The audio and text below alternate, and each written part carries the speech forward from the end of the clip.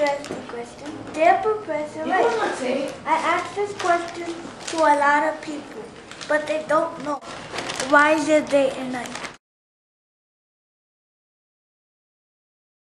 Da-da-da-da. Here's Miss Betty Bakerstein.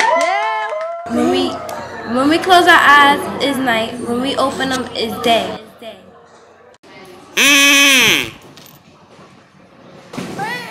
Answer was wrong. The real answer is the earth rotates while the sun is stand is still in the sky. And the earth rotates while the sun is reflecting the light towards the earth. Demonstration, demonstration, demonstration. Pretend this is the sun and this is the earth we live on. The earth moves round and round while the sun is pointing at one spot and the other side is getting light. Light is right here and the earth is just stay rotating and the sun stays in one spot.